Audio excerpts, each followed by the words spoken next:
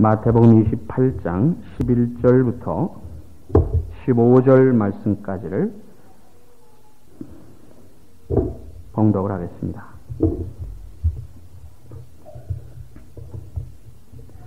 마태복음 28장 11절부터 15절 말씀까지 제가 봉독을 합니다.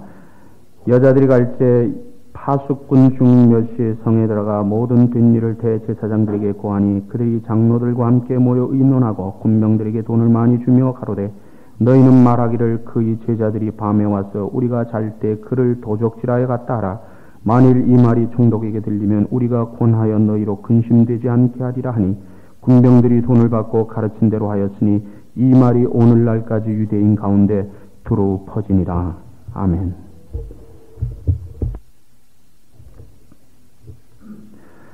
우리 사람이 살아가면서 느끼는 불안과 두려움의 뿌리는 죽음입니다.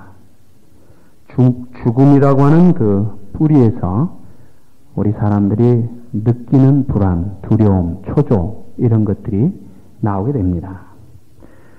하나님께서는 사람을 영생할 수 있는 존재로 창조하셨습니다. 그런데 세상에 죄가 들어오면서 우리 인간은 죽어야 될 수밖에 없는 나약한 존재로 전락해버리고 말았습니다.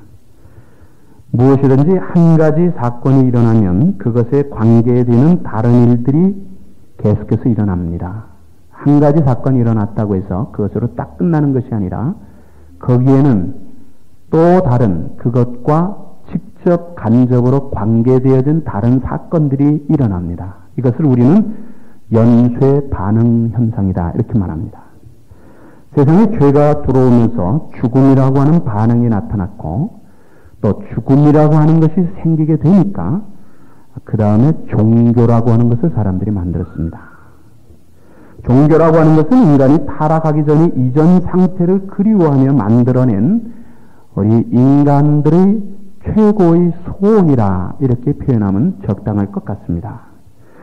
그래서 그 스펜서라고 하는 사람은 사람은 삶이 무서워서 사회를 만들었고 죽음이 무서워서 종교를 만들었다. 이렇게 표현을 했습니다. 원칙적으로 만다면 사람들이 종교라는 말을 만들어 놓고 우리 기독교까지 세상의 다른 종교들하고 한 그룹에 이렇게 묶어버리는 것이 상당히 못마땅합니다. 네, 전에 말씀드렸듯이 기독교를 종교라고 말한다면 세상의 종교는 종교가 아닙니다. 그리고 세상의 종교로 종교라고 말한다면 우리 기독교는 종교가 아닙니다. 여러분 이 말씀이 무슨 뜻이 구분이 되시죠? 다시 말하면 우리 기독교와 세상 종교는 처음 뿌리부터가 다르다 하는 겁니다. 그런데 오늘 세상 사람들이 종교라고 하는 한 그룹을 만들어 놓고 우리 기독교까지도 다른 세상의 종교들하고 같은 그룹으로 이렇게 묶어버리는 것이 저는 상당히 못마땅합니다만은 아, 그러나 그것을 대용할 수 있을 만한 다른 말을 우리가 아직 만들어내지 못했기 때문에 그렇게 사용하고 있을 뿐입니다. 세상에는 똑같은 것이 하나도 없습니다. 그렇기 때문에 종교라고 부르는 것도 역시 같은 것이 아니라는 것을 우리는 알아야 합니다. 그 중에 하나는 하나는 오리지널이고 나머지는 전부가 그 오리지널을 카피한 모방에 지나지 않는다는 겁니다. 참 종교가 될 수 있는 조건들이 몇 가지 있습니다. 참 종교가 될 수 있는 조건이 몇 가지 있는데 그 중에 하나가 바로 죽음의 문제를 어떻게 다루고 있는가 하는 말. 다시 말하면 죽음에 대하여 순종적인 태도냐 아니면 죽음에 대하여 정복적인 태도냐에 따라서 참 종교와 그렇지 않은 종교가 갈라진다고 하는 말입니다. 세상의 다른 종교들은 죽음이라고 하는 가장 인생에 있어서 큰 문제를 그대로 받아들입니다. 넘을 수 없는, 정복할 수 없는 그런 문제로 보고 그 죽음이라고 하는 것을 그대로 받아들이는 소위 순종적인 태도를 보이고 있습니다. 그러나 우리 기독교는 그 죽음의 문제를 뛰어넘어 정복하고 있다는 것을 보아야 합니다. 다른 종교들처럼 죽은 인간이 마지막 삶의 지점이 아니라 죽음은 영원한 나의 그 터닝 포인트가 된다고 하는 말입니다. 그러면 죽지 않고는 영원한 세계에 들어갈 수 없느냐는 질문이 나올 수가 있습니다. 그렇습니다. 죄의 값은 죽음이라고 하는 하나님이 정하신 원칙 때문에 우리 모든 인간은 죽어야 하고 죽음 후에 우리 주님이 열어놓으신 부활의 그 문을 통과해서 영원한 세계로 들어갈 수밖에 없다고 하는 말입니다.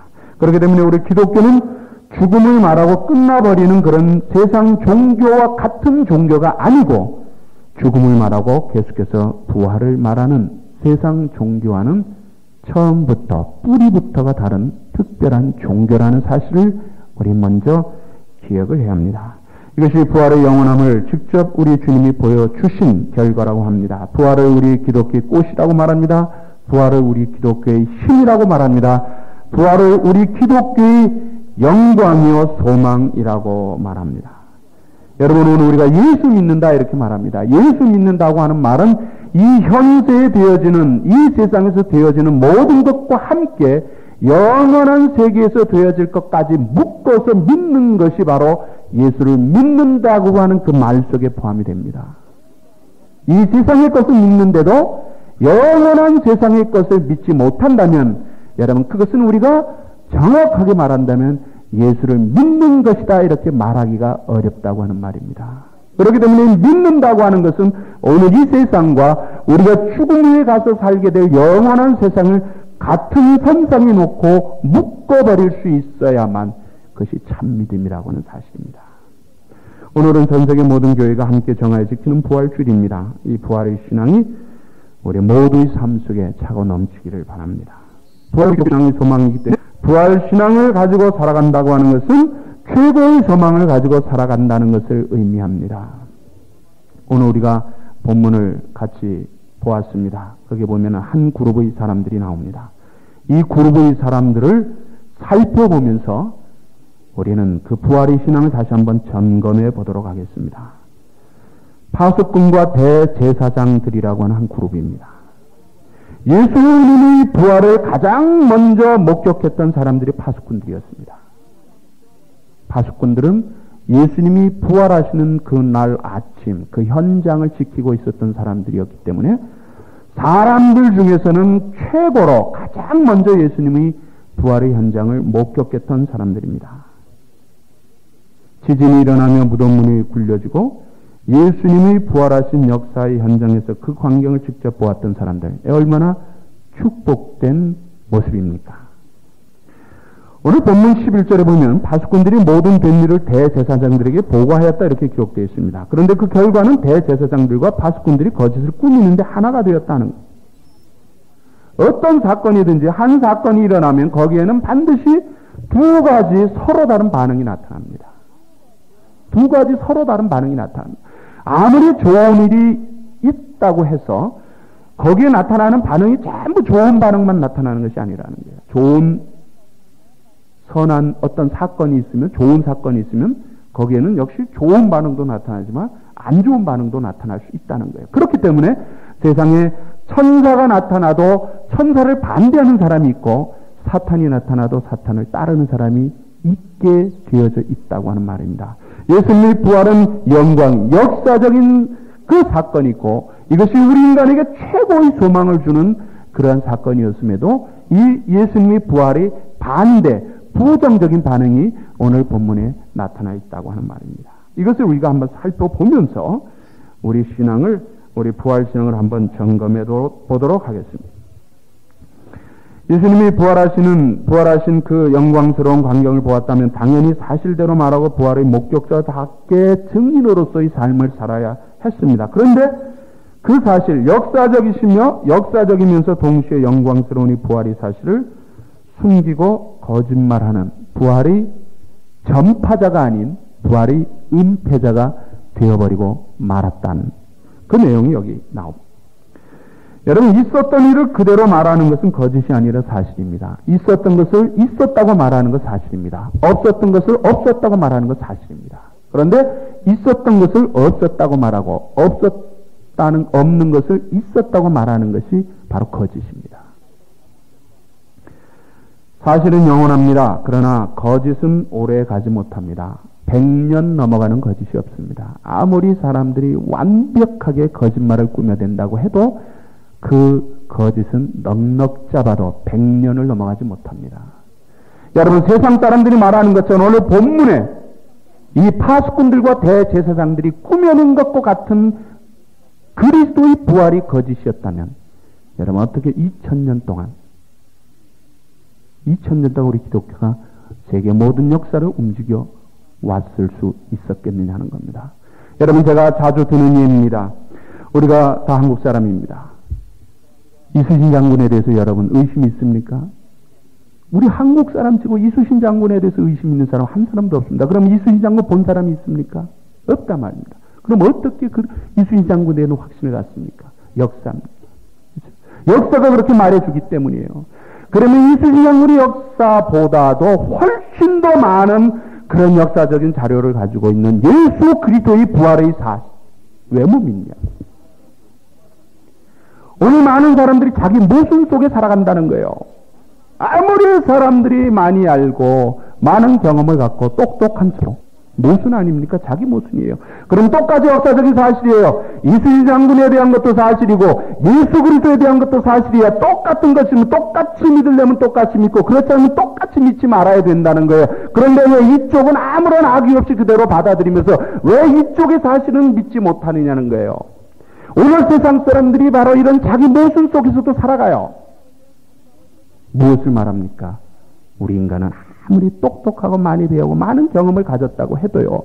하나님을 전제하지 않으면 자기 무술 속에 살아갈 수밖에 없는 연약한 존재들이라고 하는 사실이에요. 여러분 인간의 가치가 어디서 나옵니까? 하나님을 전제할 때 거기서 인간의 가치가 나오는 거예요. 다시 말하면 아무리 내가 가치 있는 삶을 살아가는 것처럼 착각한다 할지라도 하나님을 전제하지 않고는 여러분 그것은 전혀 무가치한 삶에 지나지, 지날 수밖에 없다는 근데 오늘 얼마나 많은 사람들이 용감하게 외쳐댑니까? 예수 그리스도의 부활이 사실이 아니라고. 자기 모순입니다.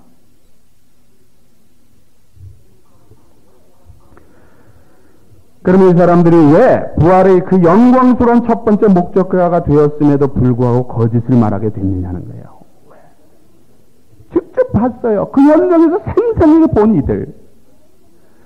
여러분 시간이 없어서 제가 읽지 못합니다만 빌라도의 보고서 외우면 예수님이 부활하시는 앞 그 그날 그 현장에서 그 현장을 지키던 그 파수꾼들이 보고가 거기 생생하게 기록되어 있습니다.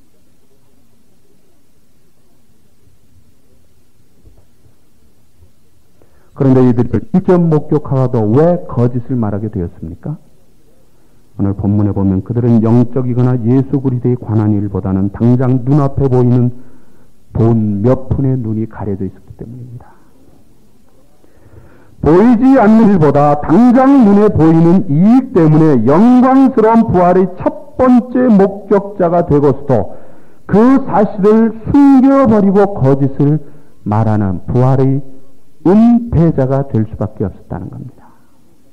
여러분 오늘 세상 사람들 그런 사람들 얼마나 많습니까? 눈에 보이는 세상의 이해관계 그저 눈에 보이는 세상의 그것 때문에 영원한 하나님이 나에 대한 그 복된 소식을 뒤로 미루어 버리고 살아가는 그런 불행한 사람들이, 그런 안타까운 사람들이 우리 주에 얼마나 많으냐는 거예요. 여러분, 여러분, 우리가 정말 예수 그리스도의 부활을 확실히 믿고 소망한다면 우리 삶의 모습이 달라져야 된다는 말이죠. 자, 이 대제사장들이 파수꾼들을 매수하기 위해서 준 돈은 어떤 돈이었을까요? 자기들 개인 주머니에서 나온 돈이었을까요? 아니죠. 우리 그렇게 볼 수 없습니다. 이스라엘 남자들은 20세 이상 되면 성전세를 냈습니다. 20세 이상의 남자는 누구나를 막론하고 성전세를 냈습니다. 그래서 그 낸 성전세를 가지고 성전의 모든 그 운영과 그 관리와 거기에 관계된 것을 사용하게 됩니다. 아마 성경이 말은 안 하지만 대제사장들이 파수꾼들을 매수하기 위해 사용한 돈은 분명히 그 성전 세였을 거라고 생각을 합니다. 오늘 우리식으로 표현하자면 하나님의 교회를 위해서 드린 헌금을 하나님의 뜻을 대적하는 쪽으로 사용했다고 하는 말입니다. 여러분 생각이 잘못되면 그 삶의 모습도 이렇게 될 수밖에 없다는 거예요. 그렇기 때문에 우리는 바른 생각을 가져야 합니다. 다른 생각의 틀을 가져야 합니다. 우리 삶이 변화되기 위해서는 우리 생각의 틀을 고쳐야 된다는 얘기죠. 생각이 틀을 고치지 아니하고는 절대로 그 삶이 변화되지 않습니다. 예수 그리스도의 생각의 틀을 우리가 바꾸기 전에는 우리는 절대로 그리스도의 제자가 될 수 없다고 하는 말입니다.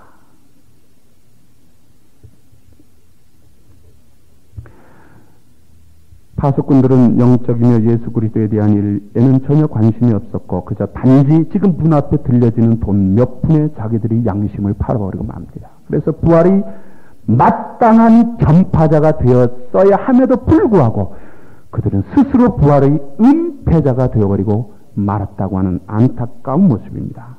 그리고 대제사장들을 중심으로 한 종교 지도자들은 자기들의 명예, 자기들이 소위 말하는 기득권 이것을 위해서 예수 그리스도의 영광스러운 부활의 소식을 듣고도 숨겨버리고 말았다는 말입니다. 부활의 소식을 들었다면 사실 여부를 확인했어야 할 것이 아닙니까?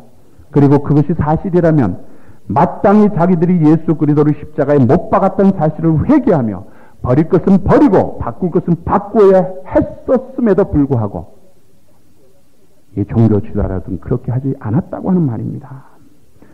파수꾼의 관심은 돈몇 푼에 있었고 대제사장들의 관심은 풀이 꽃과 같고 아침 안개 같은 그 명예, 기득권에 있었기 때문입니다. 중요한 것은 어디에도 관심, 어디에도 관심이 있느냐는 그것이 우리들의 삶의 방향을 좌우한다고 많은 말입니다. 여러분. 예수 그리스도에게 관심 있는 사람은 예수 그리스도의 삶을 따라갑니다. 그러나 예수 그리스도보다 세상의 것에 더 관심 있는 사람은 역시 그렇게 살아갈 수밖에 없다고 하는 말입니다. 자, 파수꾼들이 부활이 첫 목격자가 되고도 그 사실을 숨긴 두 번째 이유가 있습니다. 오늘 본문에 보면 권력에 대한 두려움입니다. 14절에 이런 말씀 있죠. 이 말이 만일 총독에게 들리면 우리가 권하여 너희에게 근심되지 않게 하리라. 이렇게 회유하고 있습니다. 빌라도 총독이 이걸 알고 너희를 징계할 것 같으면 우리가 잘 얘기해갖고 너희 징계받지 않도록 해줄 테니까 너희들은 가서 밤에 잘 때 제자들이 와서 예수님의 시체를 훔쳐갔다고 말을 해라. 빌라도가 이 소식을 듣고 예수님의 시체가 없어졌다는 것을 알게 된다면 파수꾼들은 아마 로마 법에서 근무 테마이라는 이유로 큰 벌이 내려졌을 것이 분명합니다. 당시에 이런 일에 관계된 이 파수꾼과 관계된 법들이 굉장히 엄격했었기 때문입니다. 물론 이때보다 양가 뒤에 얼마 뒤에 있었던 일이지만 사도행전 16장을 보면 우리가 잘 알 수 있습니다. 바울과 시라가 빌립보 감옥에 갇혀 있었을 때 하나님께서는 역사를 베푸셨죠. 기적을 베푸셔서 이 지진을 통해서 옥문이 다 열리고 죄수들이 다 도망가고.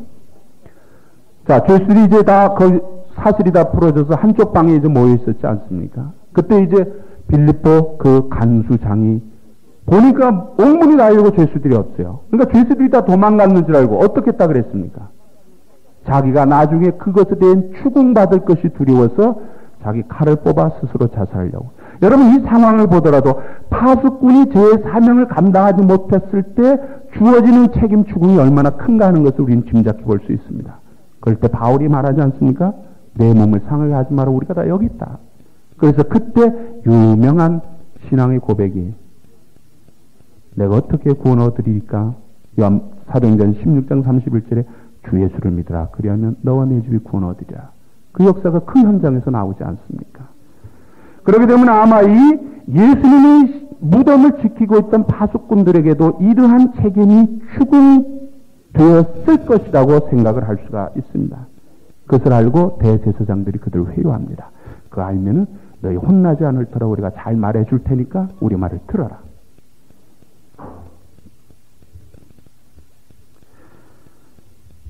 사람의 약점을 이용하는 것은 상당히 비겁한 일입니다. 그렇죠? 어떤 사람이 상대방이 어떤 그 약점이 있어요. 약한 점. 그 약점이 있는데 그것을 알고도 그걸 이용해 가고 내 목적에 이용하려고 하는 것은 굉장히 비겁한 일입니다.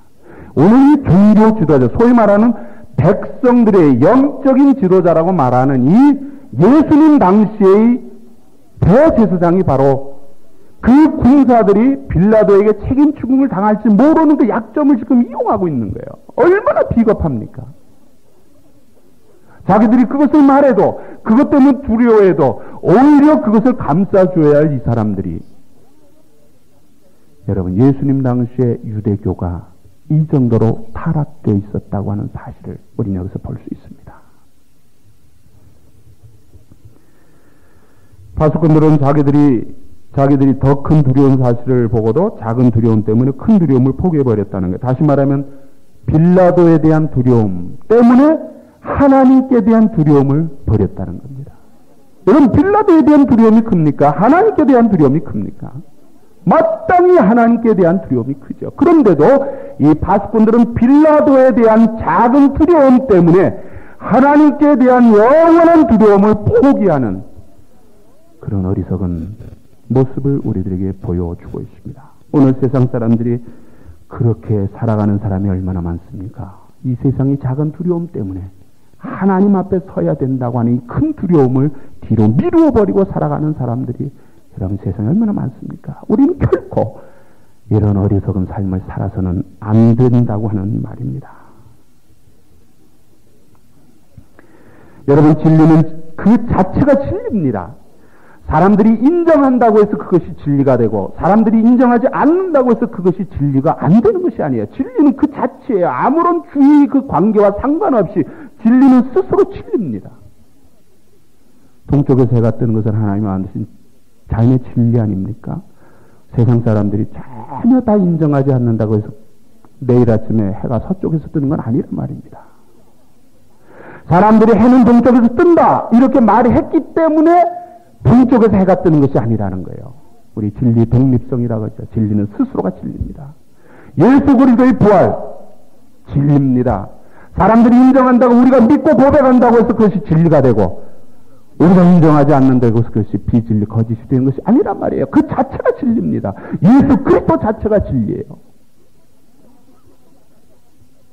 우리가 인정하고 인정하지 않는 건 아무 상관이 없는 거예요.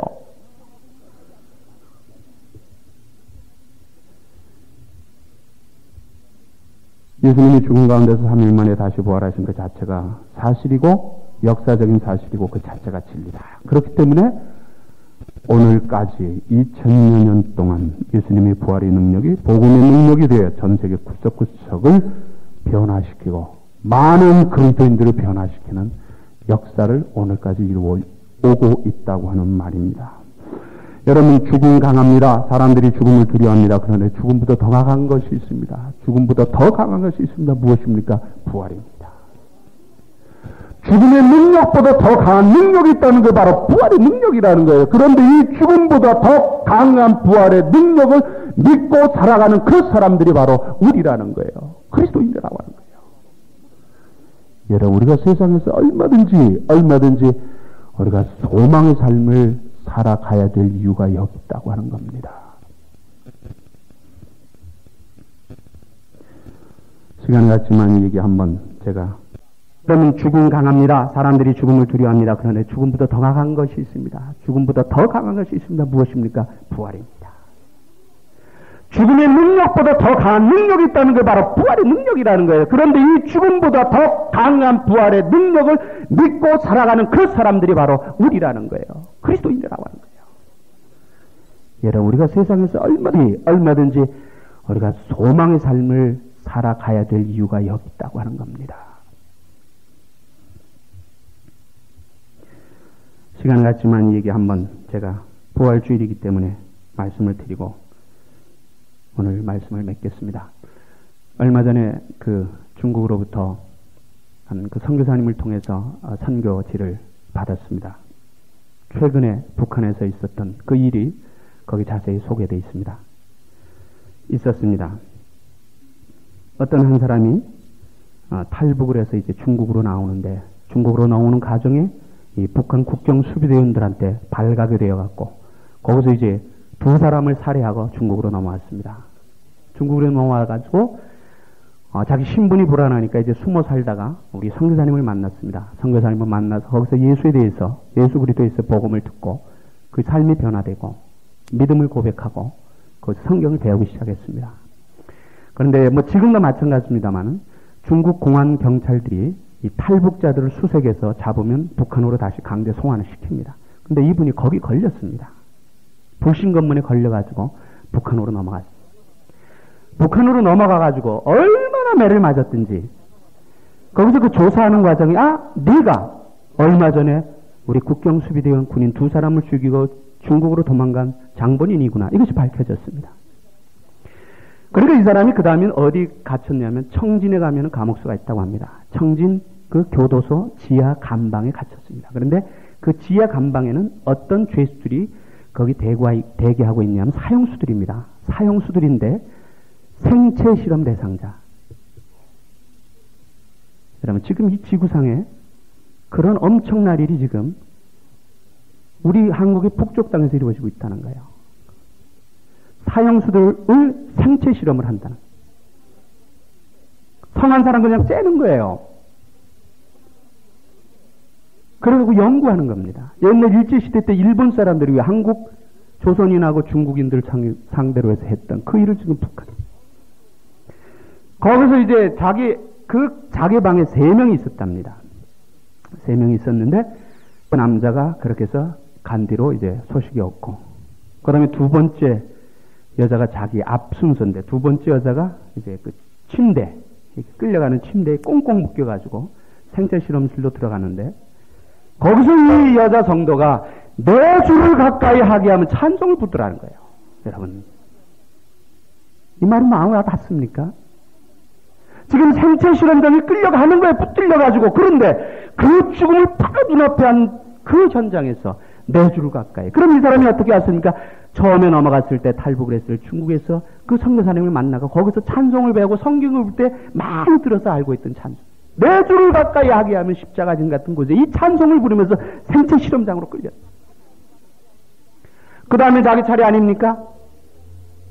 끌려갔는데 의사가 이렇게 보더니 이 사람은 피를 너무 많이 흘려서 붙잡혀갖고 하도 맞아서 피를 거의 다 쏟아가지고 피가 없어갖고 연구하기가 좀 뭐하니까 며칠 동안 잘 먹여서 피가 좀 보충이 된 다음에 어, 그 실험을 하는 게 좋을 것 같습니다. 이 말에 군인들이 다시 감방으로 돌려버려. 이 사람 생각이 이제 이래도 죽고 저래도 죽는 거 아닙니까? 내가 그럼 다시 한번 탈출하자 해가지고 거기서 기적적으로 중국으로 다시 탈출해 넘어왔습니다. 그래서 이 선교사님을 다시 만나서 이 사실 다 폭로했어요.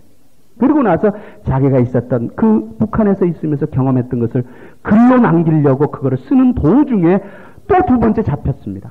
두 번째 잡혀갖고 지금 북한으로 송환이 됐는데 그 뒤는 소식을 모른다고 합니다. 여러분 제가 이 말씀을 왜 드립니까? 죽음보다 강한 것이 부활에 대한 신앙이라는 거예요. 여러분. 죽음보다 강한 것이 부활 신앙이라는 것을 제가 말씀드리기 위해서 이 말씀을 드립니다.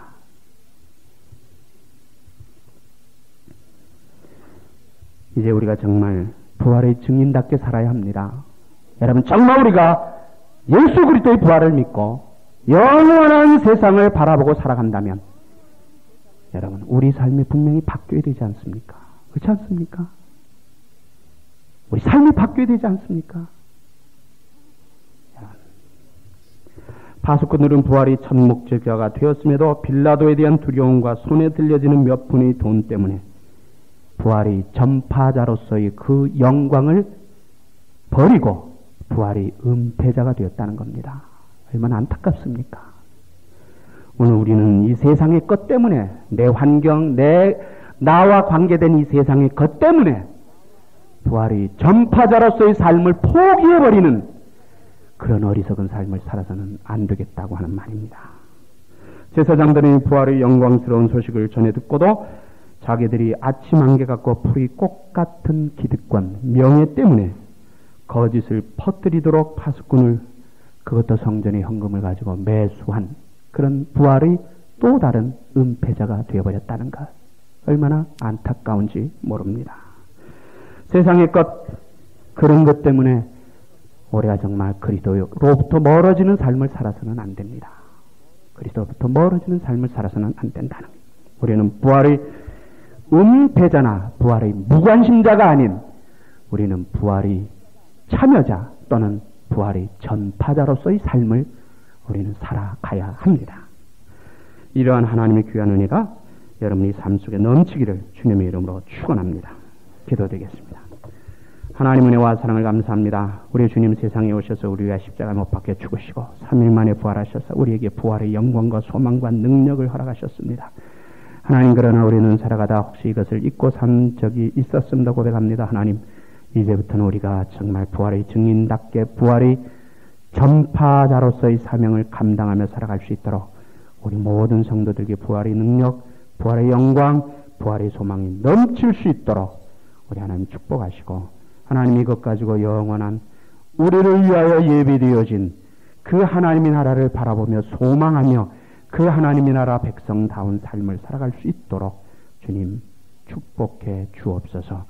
미사과 예수님의 귀하신 이름으로 기도드립니다. 아멘.